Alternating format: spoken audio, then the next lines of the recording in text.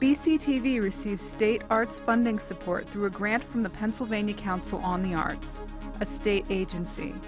Funded by the Commonwealth of Pennsylvania and the National Endowment for the Arts, a federal agency.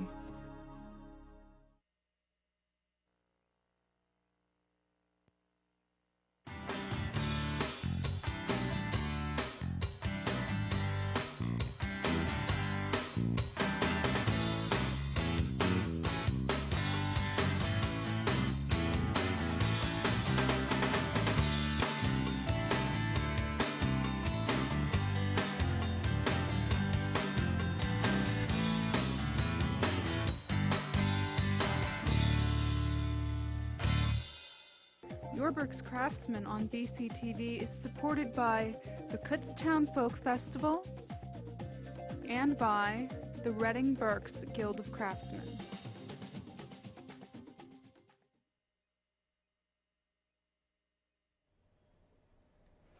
Hi, good evening. Welcome to tonight's Your Berks Craftsman. I'm so excited to have our photographer here tonight. He is um, Paul Grecian, and he has one of the distinct honors of being one of our very first, um, no, seriously, our very first juried photographer with the Reading Berks Guild of Craftsmen Wow. when we started to jury. So, um, Paul is here tonight, and um, we are going to talk to him about his wonderful uh, photography. In reading Paul's posts and blogs on Facebook, we really get to know Paul as an artist, uh, uh, an artistic photographer. And Paul, if I can quote from your, Please. okay. Um, Paul says, I work with a variety of photo- photographic equipment in a sometimes very technical manner, but look upon photography as an artistic medium. My goal is to create the images I see in my head and with my heart as opposed to with my eyes alone. When I read this in your biography, Paul, I did get very emotional. I think people feel your pictures, you know, when I know what I did when I look at your pictures. You are such a, I'm going to use the word poetic photographer, okay? Allowing the person, when they view your picture, they just not, they just, they, they feel the experience of your picture. And um, I feel that your paintbrush is your camera and lens. Thank you. That's the way I feel about it. Okay. Um, Paul got started in photography how many years ago?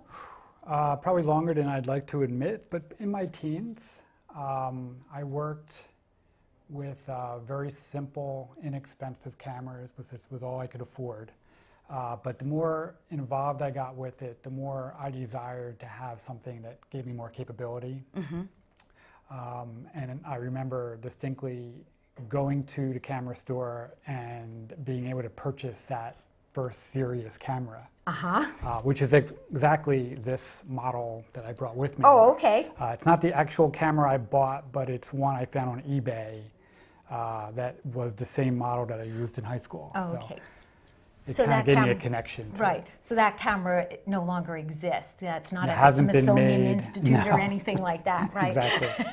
I have no idea what happened to it. You actually. have no idea what happened It's to that It's out there camera. somewhere. Someone has Yeah. it, maybe. Possibly, yes. Okay.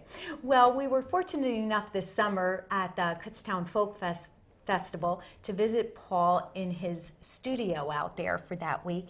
And um, I think we're going to go there right now and um, go through. Uh, Paul's going to take us on an adventure in his studio from the Kutztown Folk Festival. And then we're going to come back and um, we have a real treat for you the rest of the evening. Okay, so can we go there now, please? Okay, and here we are in the studio here at the Kutztown Folk Festival with Paul Grecian. Paul is a wonderful photographer from the Quakertown area, and he is going to uh, take us into the world of photography this morning. Okay, give us all, give all the amateurs out there in Berks County and beyond a little trip into the world of photography and how we can maybe get better at it ourselves. Paul. Well, thank you. Uh, the interesting thing about the medium of photography is that people come to it from all different means. I actually come to it with a background in animal behavior, uh, so that informs a lot of my work. I'm looking for aspects that not just speak to what something looks like, uh, but tells you something about how the animal lives in its environment and also interacts with um, other animals. Um, all my work is East Coast, but mostly done here in Pennsylvania. So I have a, an especial fondness for the Pennsylvania landscape and also for the kind of wildlife that lives in this area. But the work ranges from Maine um, all the way down to North Carolina, which is really a rather large expanse when you explore it in some detail. And I'm also looking to work in a variety of different elements. So in this case, uh, I have been working in the rain. Um, the benefit of that is that it allows me to really have reflections which bring out more color in the scene and also saturates the colors in the foliage. Uh, and that, in addition to the visual benefit of that, it's actually just kind of fun to uh, be kind of childlike and, and work in the rain again. But as you scan across, you'll see I'm also working in uh, ice storms, uh, snowstorms, uh, fog, uh, various times of the day. So I'm working with sunrise and sunset light. And all that kind of brings its own mood to a piece. And we're lucky in this part of the country that we have four very distinct seasons. So every three months, basically, I'm working with a very different visual environment. Um, and that all kind of plays a role in the work that I show. In the case of um, most of my work, it's in color. So I'm emphasizing contrast between warm and cool tones, or sometimes just a single tone that's especially striking and dealing with it as I would um, a monochromatic process like black and white, except it might be something that is purple and black, or purple and white, or blue and white. Um, and that gives me kind of the ability to work as if I was working in black and white, but still having a color component. And people don't necessarily always realize that with color, there's a strong emotional aspect to different tones. So red has a different emotion than blue. And certainly green is a color that's very calming. And so it's something that people would hang in their bedroom. And red isn't necessarily a color that you want to wake up to. It's not as calming. And red tends to be something you put into a, a living room or a kitchen. And so people use colors in different ways in their house. And so when I do a, a piece with a strong color component, I kind of have that in mind as well, how it might hang in someone's home or office, and that in some ways impacts how large a piece I, I do with it. A really large red piece is hard to hang. A really large green dominant image is actually very easy to hang. Um, one of the other things I've done lately is I've begun to work with printing on canvas. And that allows me to do something very large but not have the constraint of the weight of glass in how it hangs. I also have clients that like to put large pieces over their beds, but don't want to have glass over them while they're sleeping. And there's, there's a comfort issue with having canvas over you instead of glass. So this becomes something where um, they're able to put artwork in a room or in a space that they wouldn't have felt comfortable doing it before. Yeah, the canvas take makes the art makes the photography look so different. And and what is that? Why? I think it's a couple things. First, there, because there's no glass on it, you're not losing any of the color saturation that sometimes you lose a little bit of with glass. Um, it also means that I can go larger, and there's an emotional impact just to size itself.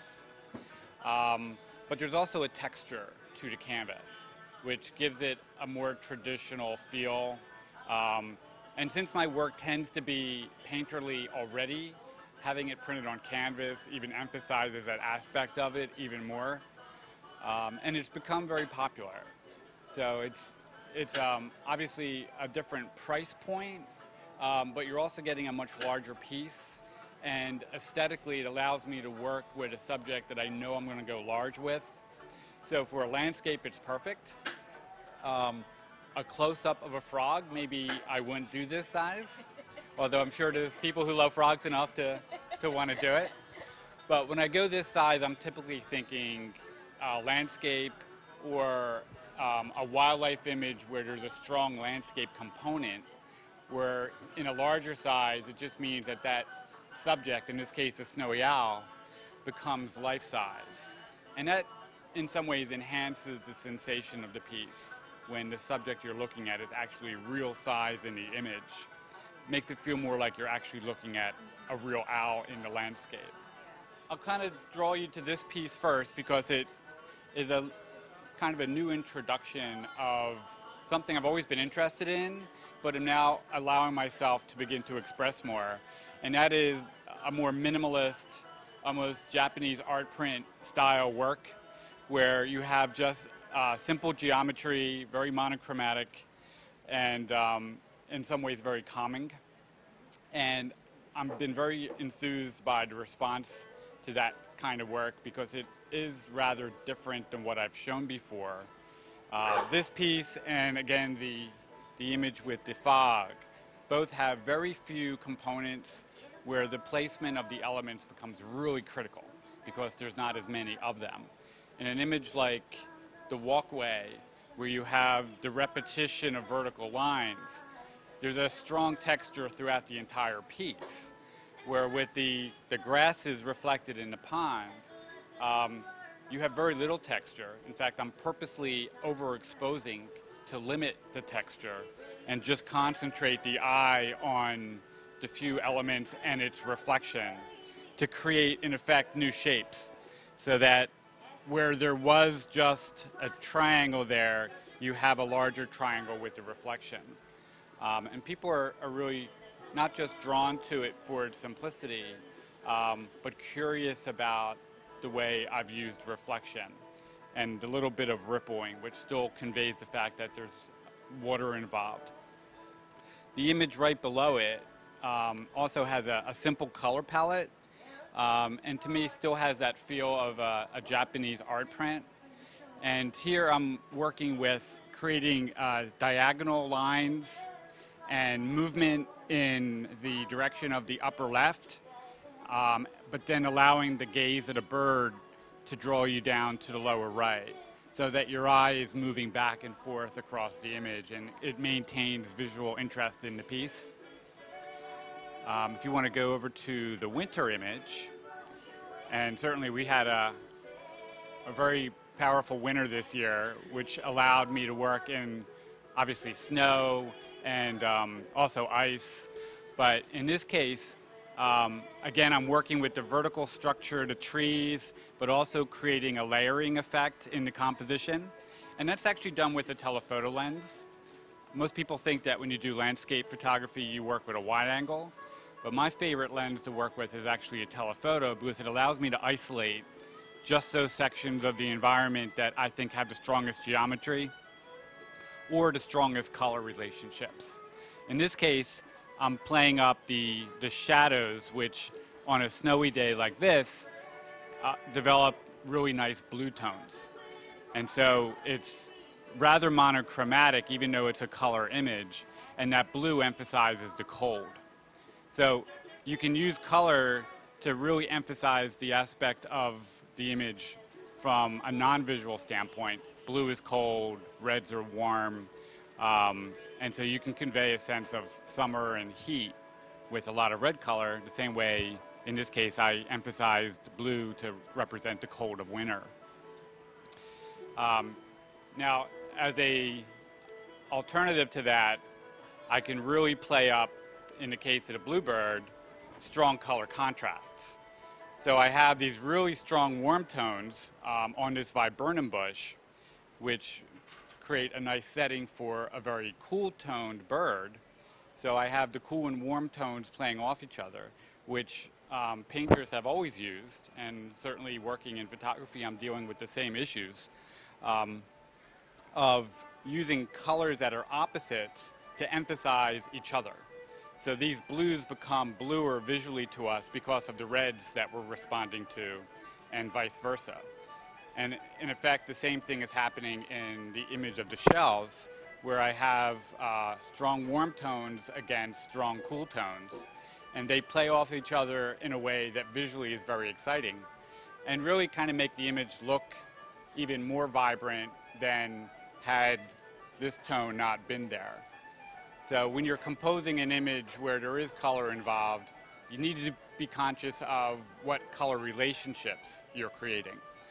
The other color relationship that can be um, very appealing is uh, color harmony, where you could emphasize just warm tones.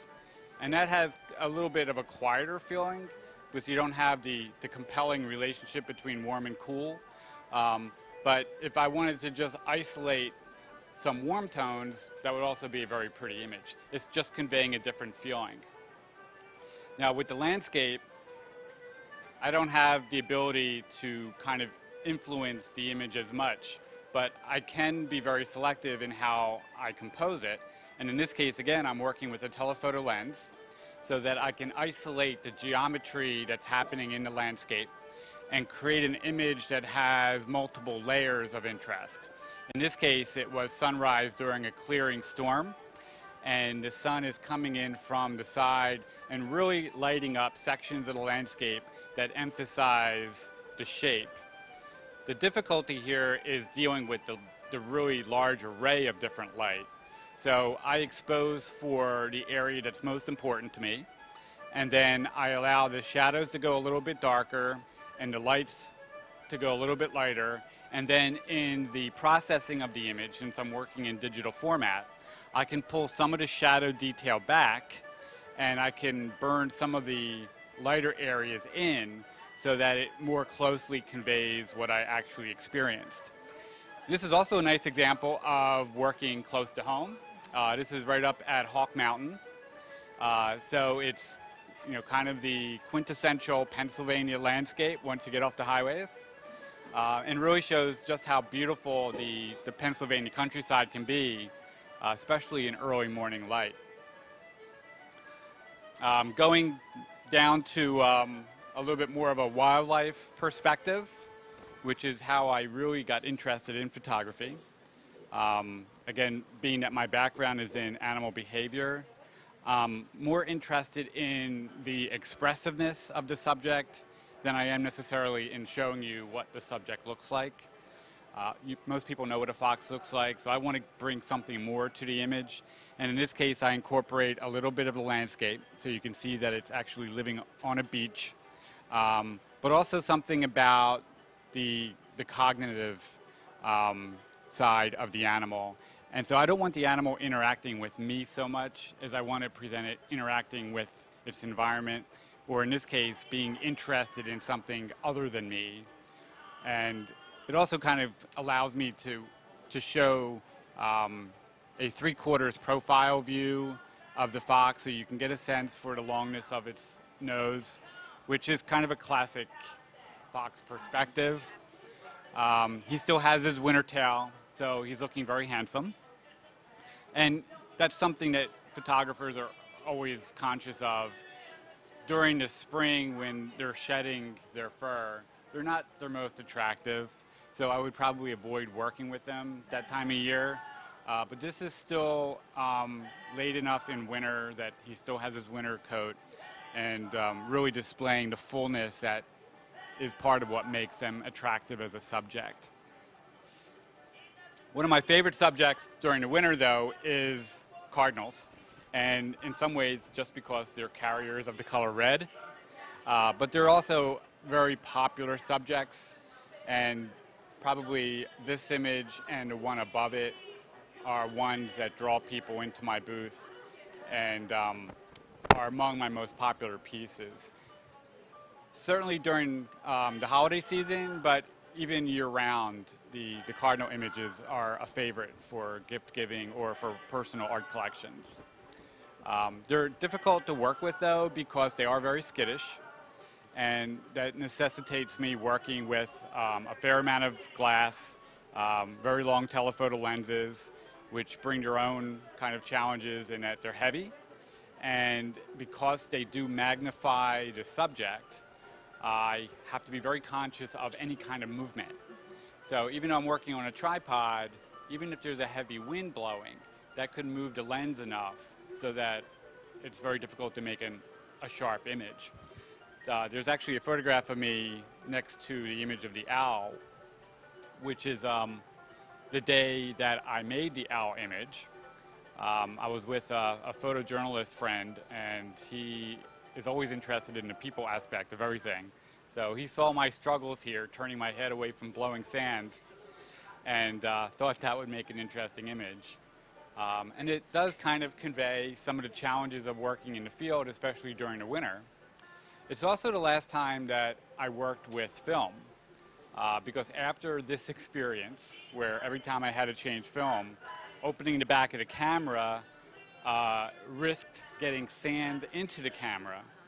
And then when you wound the film, there was the risk of a single grain of sand scratching the emulsion, which would have ruined the entire day's effort. So at that point, I decided that if digital allowed me nothing more than to never have to open the back of my camera again in rain or blowing sand, that it would have been worthwhile for me to make that transition. That was a rough day at the office. It really was, yes. But you know, for me, a rough day at the office in this environment is still nicer than a rough day at the office that I used to work in before I decided to make um, photography my full-time work.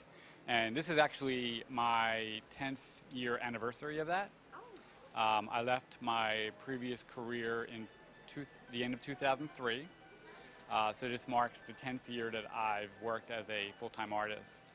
Uh, so it's a, an important year for me personally, um, but it, it still reminds me, even now, of the reason that I gave that up and decided to make this my full-time work. I, I love the interaction with the people. Um, I, I do have work that I sell at a gallery in Lambertville, New Jersey, uh, which is run by a group of artists. But even there, you don't get the interaction that you do at a show like this or others, where you can talk and get immediate response to your work. Um, and that makes a huge difference. Thank you so much, Paul. Um, this has been wonderful. Okay, so you got to view Paul in his environment, okay? He was talking about um, the um, gallery that he is in Lambertville, Lambertville, New Jersey, Lambertville, right? correct.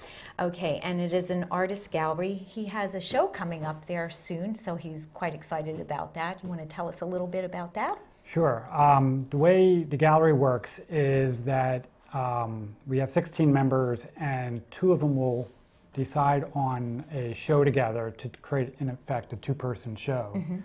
Um, and mine will be with um, one of the painters at the gallery, and it'll be in June, so it's coming up quickly. Um, and we're still working out the final PR aspects of it. But basically, it gives me a chance, along with the other artists, uh, to put up a larger selection of work and also possibly within uh, a theme uh, that we both agreed upon. Uh, so it's a different way of expressing our work than just having a few pieces on the wall. Um, can you tell us what the theme is? Or Uh, well, right now the the um, show is going to be called Observations, okay, and in my case, it's going to be work that reflects individual observations as opposed to a larger theme. So in this case, I'm looking at um, individual elements of an environment, and uh, the painter I'll be showing with will be doing something very similar, where she's isolated just one day's observation or multiple observations that aren't necessarily all connected, okay, um, that reflect the way artists sometimes view things differently than lay people. okay. So you didn't do like a collaboration like you photoed. Correct, Okay. yes. Okay, but Right. Mm-hmm. similar. Okay, very nice. Okay, well, Paul's going to, we have several, many pictures here Mm-hmm. tonight, and he's going to take us on a tour again, okay? Okay.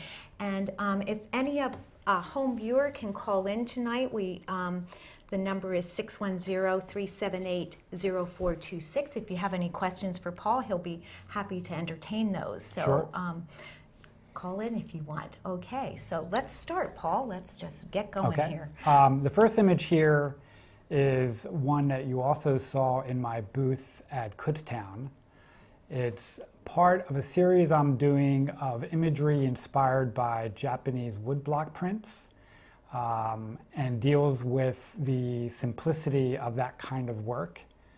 Um, one of the things I mentioned in the previous video was how I'm using reflections and allowing the reflections to create their own shapes. Um, but it's really the calmness of a piece like this that makes it very appealing to my clients who want to add something to the house that's both visually appealing but also very easy to live with.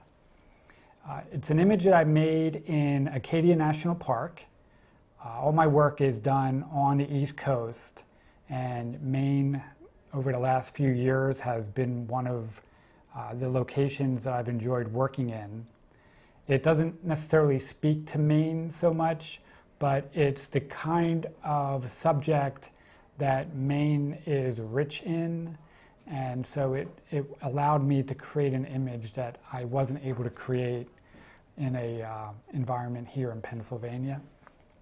Um, the repetition of, of line here is something that you'll see in a number of my works, and I think is also something that contributes to the peacefulness of the piece. Yeah, very Zen-like. Very much. I, I, I would think that the um, viewer would feel that, and that's where it would end up being in their.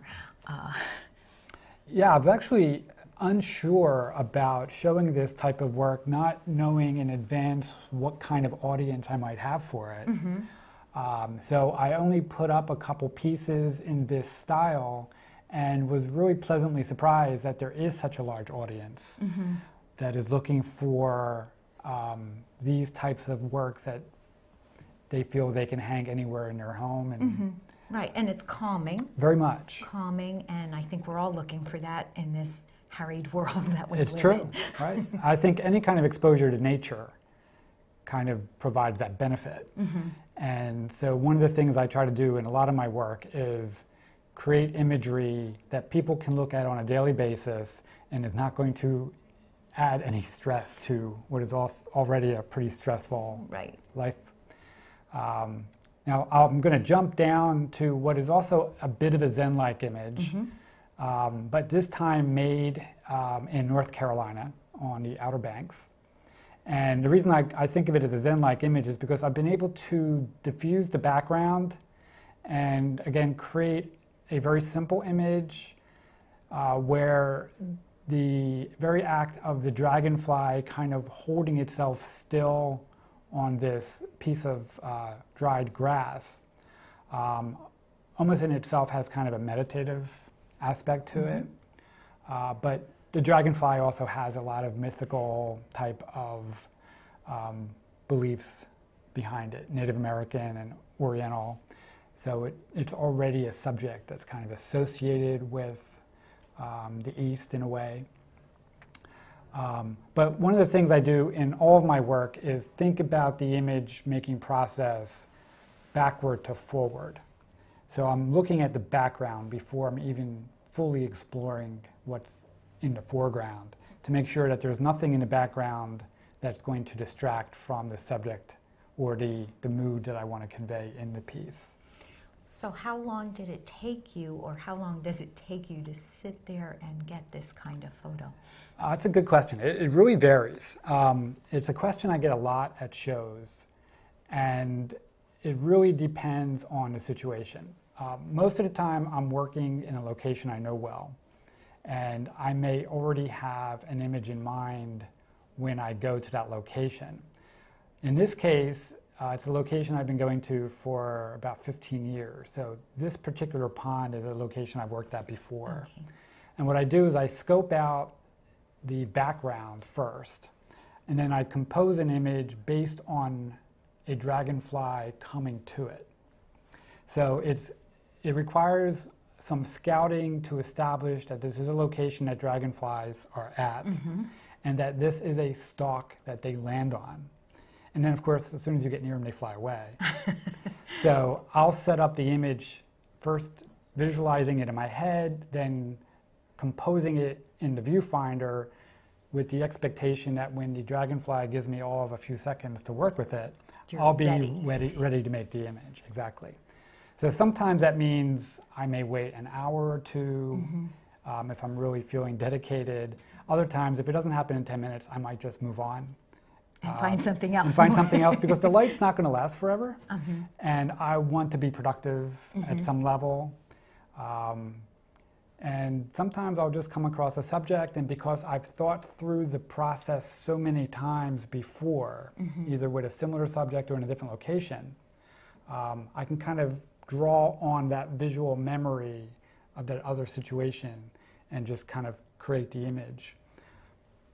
There's, there's really multiple different stages of the process, and depending on the situation, I'll draw on um, my background in having made previous images to determine where I'm at in the stage of creating an image. Uh, and sometimes it's uh, spontaneous, and sometimes it's an image I've had in my head for years, and finally a situation presents itself that allows me to, And to make it. yes, yes. Exactly. Uh, so for this next image, uh, we're now in Pennsylvania, where most of my work is actually made. And this image reflects part of a series I've been working on of imagery with pathways, uh, which of course is a metaphor for many things for different people, and has also found an audience um, because it's a piece or a type of piece that allows people to kind of enter it Yes. they feel like they can become part of it.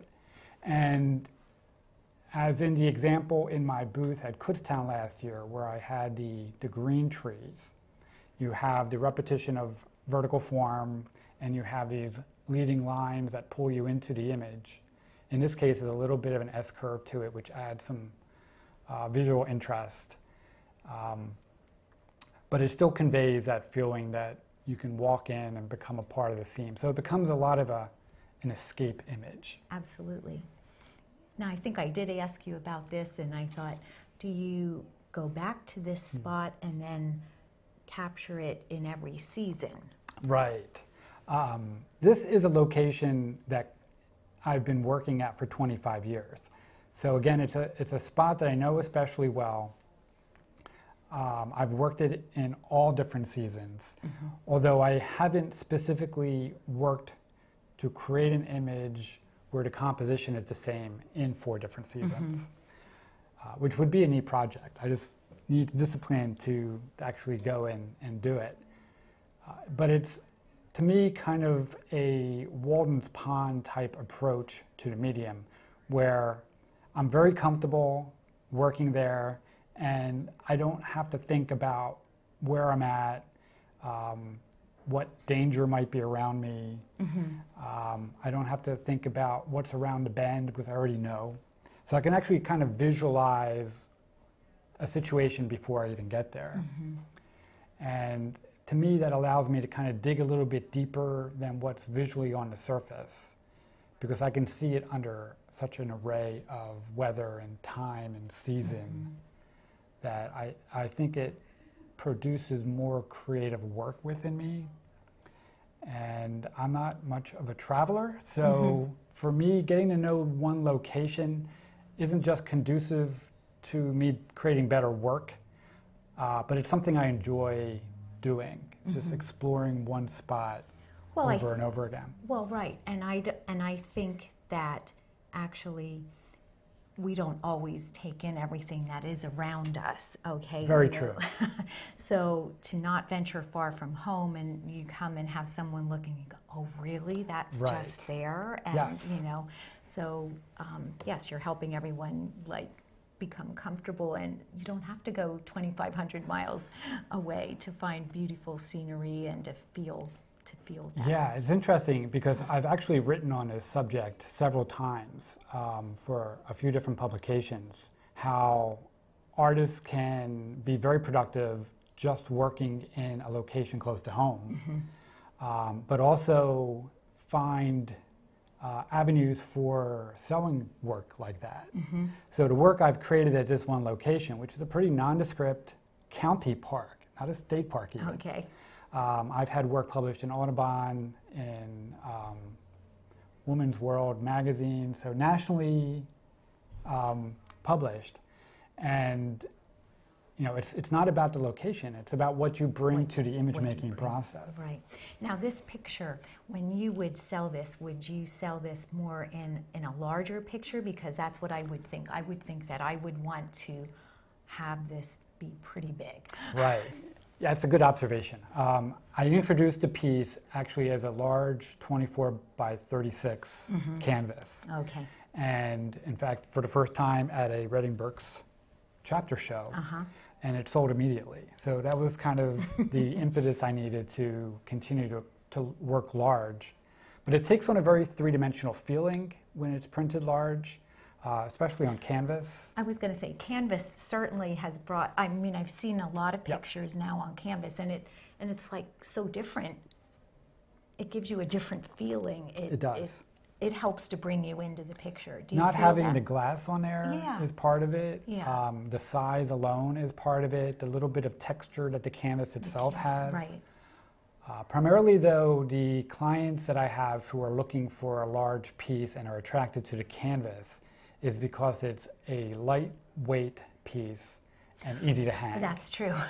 yeah. Uh, also, they sometimes want to put a large piece over their bed and don't want a large piece of glass hanging over them. and that's good on their part. Yes. Very smart. So the canvas is a more Yes. safe feeling way of putting a large piece of Yeah. art over their bed. Yeah.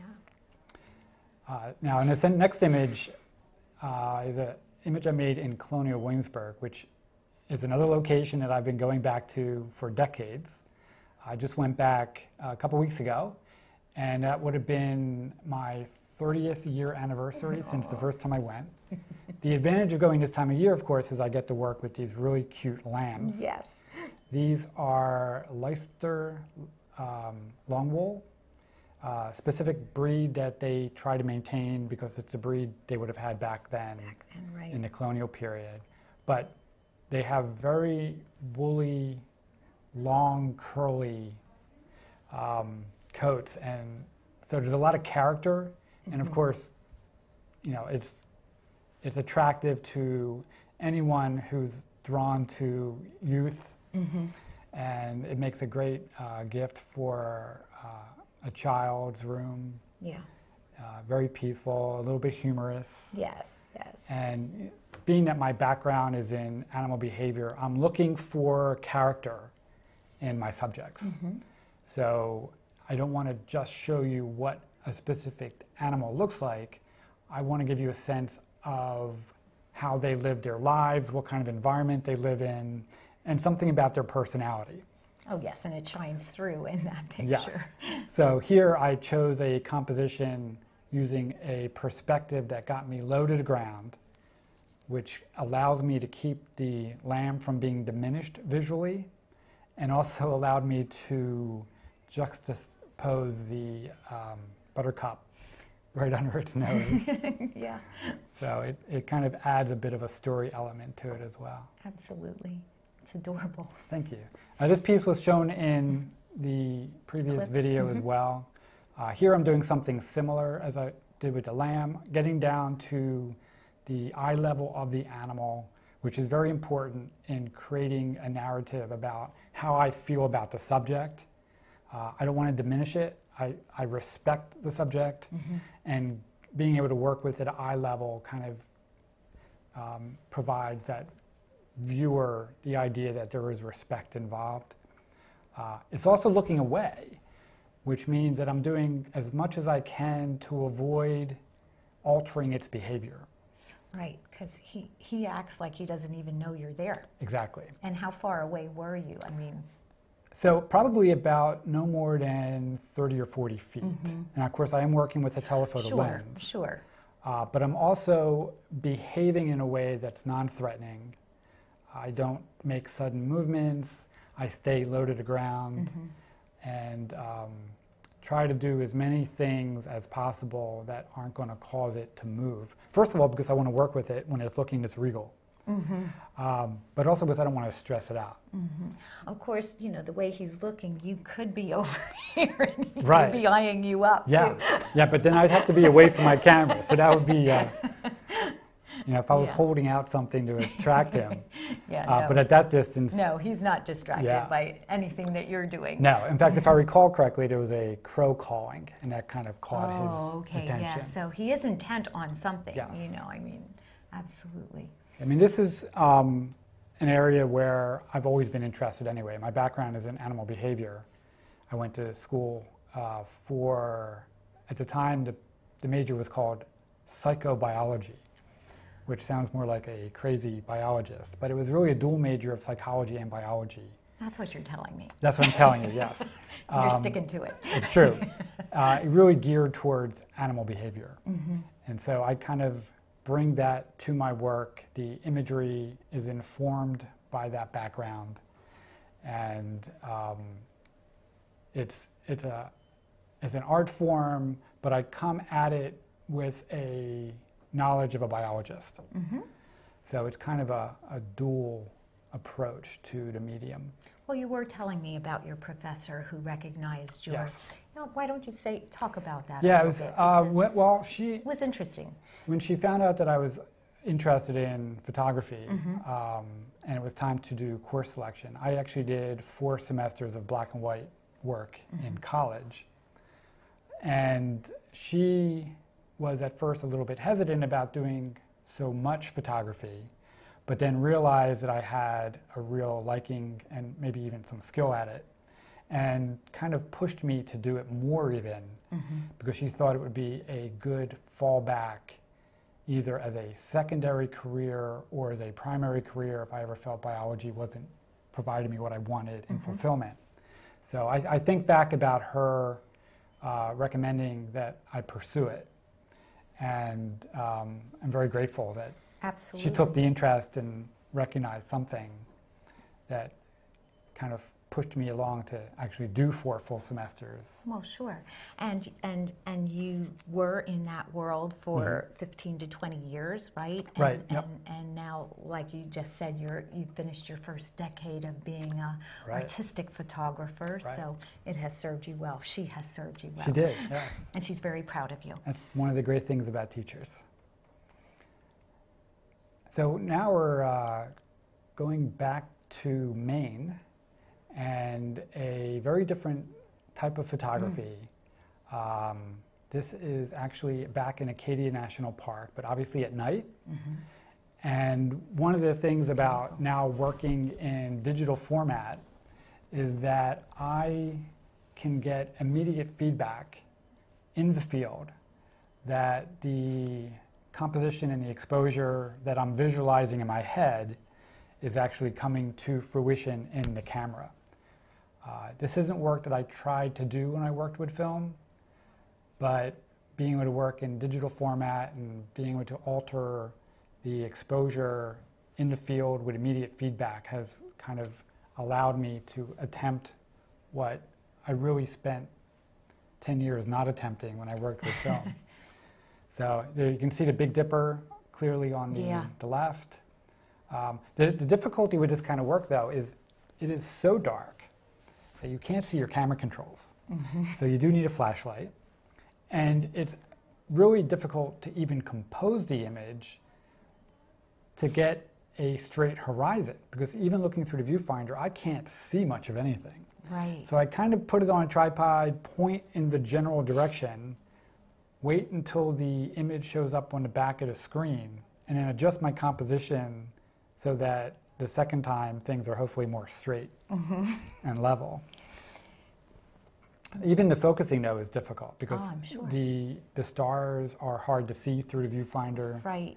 Uh, it's about a 30 second exposure at a relatively high ISO or film speed equivalent. Mm-hmm. And so in that time, a lot of stars get recorded uh, and really give you a sense of just how amazing those Maine skies are on a clear night. Now, a, a person coming into your um, gallery or, Mm-hmm. or booth, you know, at one of the shows, they might ask you this question Do you manipulate? Right. Okay. And so you did not do anything to manipulate in this picture. Right. The, the difficulty in this image is really dealing with the exposure and the composition. Um, the other problem with, and I've, I've written about this on my blog too, the, the problem with the word manipulate is that it means different things to different To do- people. Right, and I'd like you to explain Yeah, that. so. I've, I've uh, gotten to the point now where I don't answer the question right away. I usually reply with a question asking the viewer what it is they mean by manipulate. Mm-hmm. And I often get very different responses. So in this case, they'll ask, Did you actually see all those stars? Mm-hmm. Um, and yes, if you've been to Maine, Yes. uh, you, the skies are amazing. Now, what's also true though is that in a 30 second exposure, some of the stars are going to record a little bit more brightly than I may have seen them with my eye. But I'm not putting stars into the image, they're just being recorded naturally. Yeah. Yeah, th- that's so beautiful. I, you know, but you you went to Maine, okay? So that is, you know, a thousand miles away, right? Right. You know, To me, yes. Yes, but we can go outside at night and see a sky Correct. just like that here in Yes. If you can find a location that doesn't have as much light pollution, mm-hmm. then you know these stars exist everywhere. Yes. So you know, in the right spot, that's that's very doable.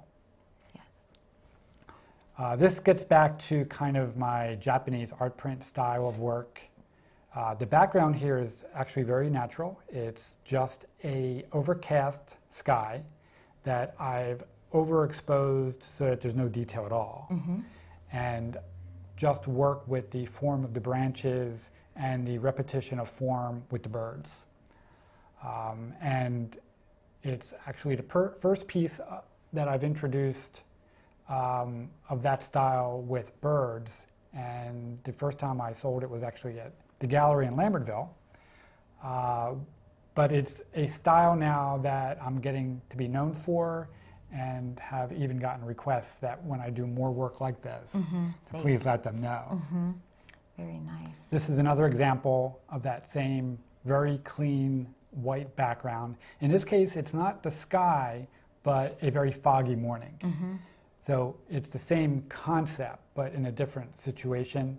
And here I'm getting back to some of my black and white days uh, to, again, increase the simplicity of the piece, work with the repetition of the, uh, the round forms, the black walnuts, and then still have that bird in the center, which, even though it's small, is still It- something that our mind and eyes go to It go, immediately. you go right to it. Yes. And I think is it sometimes is it do we do our eyes go to it also because of the shadowing in that picture?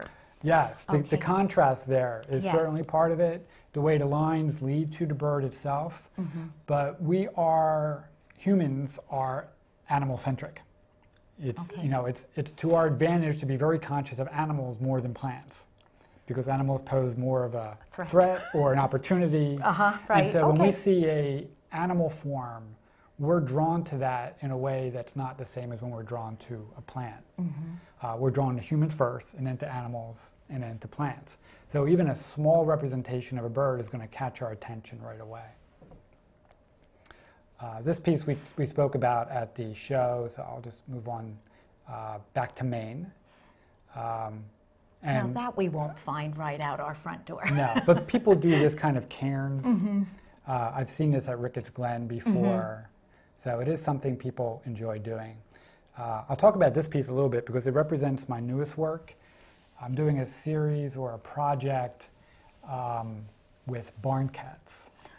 Nice. So it's, it's something I want to do, kind of a multi-season, multi-year, Uh-huh. really get into the behavior and character of this one group of cats that lives on a barn here in Pennsylvania and deal with their environment or interactions and just how they deal with having to, in effect, live outside. Um, and in this case, with the snow and the different moods and emotions that are inherent in it being a cat, which is thought of as a domestic animal, right. but also with the hardships of being in a Being harsh. a barn cat, right? Yeah, You know. Pennsylvania this year was tough. yes, absolutely. Yeah, and they certainly would have a different personality. Well, we all know that, you know, because they're more skittish or, and you know, when we try Right. to approach them. and very individual still. I mm. mean, so each cat has its own specific way and personality and look. Mm-hmm. And so I'm exploring their, their physical and visual character as much as their behavioral mm-hmm. character. And you certainly captured that in, mm-hmm. in you know his pensive, Mm-hmm. Right. his pensive look Yeah. there. And even though it's very different work than I've done before, um, I'm finding a very receptive audience for it. This is another example. And then kind of really emphasizing in the visual character. Back to uh, a little bit of winter work. Uh, one of the nice things about Pennsylvania is we have four very distinct seasons, and so four very distinct looks. Um, a different display of my work with the Guild. And again, working with a very clean background and really dealing with form and behavior. This has, again, a very kind of oriental feel Yes, to it. Yes, it does. Yeah, And it's been one of my most popular pieces. yeah, it's very nice. A little more of an abstract piece back down in North Carolina where I'm just dealing with line and color. Oh. More winter cardinals. Red is one of your favorite colors. It is, yes. Very powerful image. And um, another piece representing, Oh, okay. Um, if we can take a minute here, we have a home viewer has a question. sure. We don't have too much time left, but please go ahead. Uh, Yes, hi, my name is George. Uh, just really quick, I live down in Exeter Township, and I just wanted to say I really enjoyed your program. Your work is excellent. Thank you. Have you ever been in a situation where you were out and you didn't have your camera and it was so unique you wished you would have had it? It happened to me a few times, and it's it's been haunting me ever since. So, yes, thank I you have. for your program. Thank you. Um, I was telling Kay before the show that I am either on or off. So when I go out to photograph, that's all I plan to do. Okay. And when I'm not, I typically don't bring a camera. Uh, partially because if I have somewhere to go and I have a camera, I'm not likely to get there. Okay. Uh, so I, I have come across situations, especially this winter, with as beautiful the snow has been, where I really wish I had a camera with me. But I can't be in that mode. I'm, I'm either working with the camera and specifically um, in photography mode, or I have to be off because otherwise nothing would ever get done. Okay. I just But yes, I feel your pain on that. Yeah, I just had a situation where I was hiking on a trail. It was a foggy morning, and directly overhead, flying directly at me, was a great horned owl. And I was ah, Oh, like, "Oh God, I missed it!" You know. but- Yeah, Okay. Well, thank you so much. you're welcome. Thank you. Thank Bye-bye. you. Yes. Well, yes, he, you felt his pain very much. In fact, we- an owl specifically, I was out with a friend at Longwood Gardens. Uh-huh. Very rare long-eared owl showed up. I was not prepared for owl photography. So you just enjoyed the moment. I tried to. yes. and gritting your teeth Very all the much. whole time. Yes. Yes. Well, um, Paul, maybe I can ask you to come back again because you Sure. know there are you have ans- you have shown us a different world, the artistic, the artistic end of photography. Okay, and like I said before, you are truly an artist. Thank you. You, your mother is very proud. I believe she is. Yes. yes, she is. Um, I uh, again, I do thank you very much for coming here tonight. Paul Paul is from Quakertown, so he did have a bit of a drive to get here, Not but not so bad.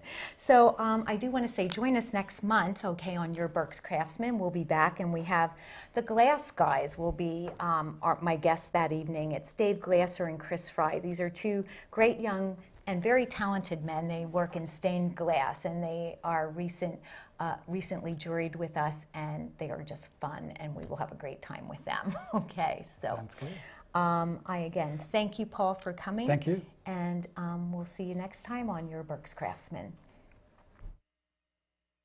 Your Berks Craftsman on BCTV is supported by the Kutztown Folk Festival and by the Reading Berks Guild of Craftsmen.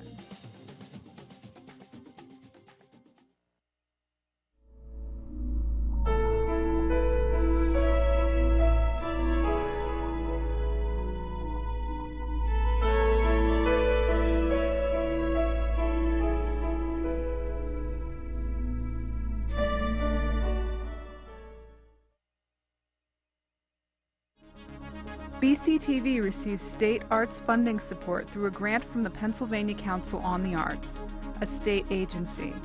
Funded by the Commonwealth of Pennsylvania and the National Endowment for the Arts, a federal agency.